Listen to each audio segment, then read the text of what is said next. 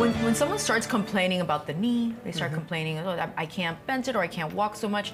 When is it time to start considering maybe there's something going on here? Yeah. Well, you know, if, if something is consistent and not improving with a little bit of rest and maybe some anti-inflammatories or some easy lifestyle changes, then it's reasonable to take a look. That doesn't mean that everybody with a day or a week or even a month of knee pain requires surgery. In fact, Right. most people probably do not. Or that they have arthritis? Or that they have arthritis, correct. Mm-hmm.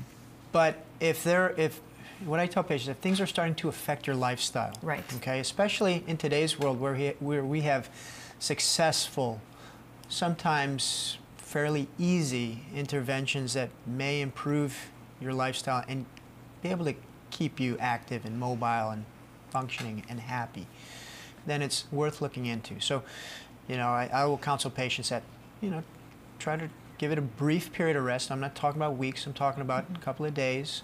Uh, a brief course of anti-inflammatory, so that's over the counter anti ibuprofen, Aleve, naproxen for five to seven days. And if things are still painful, then it's reasonable to contact your primary care physician mm-hmm. or your friendly orthopedic surgeon and take a look.